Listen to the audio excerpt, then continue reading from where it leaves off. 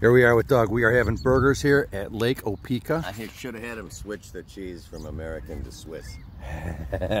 we are having our view here. We got a million dollar view, Lake Opeka, with our table and onion rings and burgers. Friday, I don't know what it is, May 15th, May, May something. Having burgers at Lake Opeka. Sweet. Let's dig in.